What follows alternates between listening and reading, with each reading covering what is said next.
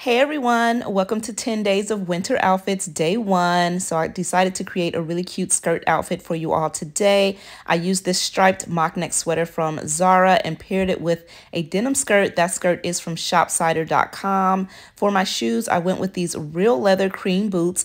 Those boots are from Nasty Gal and you can pick those up right now. They are fly. Of course, it's been a little cold and a little rainy in LA, like a little stormy. So I finished off the look with this leather trench coat that is from Nasty Gal, and it's about a year and a half old. I went with a simple cream bag for my bag on this look, and yeah, I love the way it turned out. Really nice for a cold LA day. What do you guys think? Follow for more inspo.